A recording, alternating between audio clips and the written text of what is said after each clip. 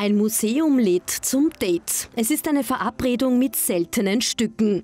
Insgesamt befinden sich rund 120.000 Objekte in der Sammlung des Nordico Stadtmuseums Linz. Vom Gemälde bis zur Skulptur. Was in die Ausstellung kommt, darum kümmert sich Kunsthistorikerin Andrea Biener. Das Ankaufsbudget, kann ich ja gleich sagen, ist nicht so riesig des Nordico Stadtmuseums. Deswegen bin ich sehr erfinderisch. Ja? Ich schaue eigentlich mich ständig überall um. Ich strecke ja auch nicht dem Flohmarkt gegenüber oder will haben oder so zurück. Aber eben ich schaue immer im Hinblick entweder ergänzend für die Sammlung oder schon auf eine andere Ausstellung, die man in Vorbereitung hat. Eine Ausstellung planen, damit kennt auch er sich aus. Der Linzer Erich Bröll. Der Filmemacher hat vor über drei Jahrzehnten im Stadtmuseum gearbeitet. Ein Jahr nachdem das Nordico eröffnet worden ist, war ich dann schon da und das 32 Jahre lang. Also ich war der Ausstellungsleiter für Natur, Völkerung, die Abteilungen äh, und äh, naja, Welt unter Wasser mit Hans Haas mit Heinrich Harrer, die großen Geschichten, die wir gemacht haben, genauso aber heimische Sachen über die Donau.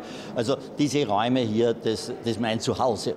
Die Ausstellung ist mittlerweile digitaler geworden. Das Handy gehört zu einem Museumsbesuch dazu. Das ist eben das Besondere an Linz als UNESCO City of Media Arts, dass man sich auch hier im Nordico Stadtmuseum ganz modern und zukunftsorientiert zeigt. Ich finde, da, wo der Einsatz digitaler Medien total Sinn macht, ist es unerlässlich weil sich sie auch noch weiter über die, über die Grenzen des Museums hinaustragen lässt.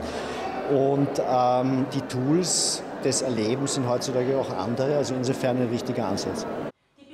Vor 50 Jahren war das Nordico freilich noch analog statt digital. Damals war es kein Museum. Es war schlicht und einfach ein Miets- und Geschäftshaus. Das heißt, es gab hier diverse Künstler, die hier gearbeitet haben. Das Haus selbst ist ein historisches Juwel der Stadt Linz, nicht nur wenn man die Decken betrachtet. Äh, das ist einfach zeitlos und so gesehen ist dieses 50-jährige Jubiläum schon ein Grund zum Feiern.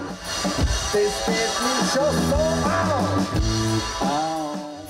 Feiern, genau das machen die Gäste im Anschluss mit der Linzer Kultband Adwenger, direkt vor dem Stadtmuseum. So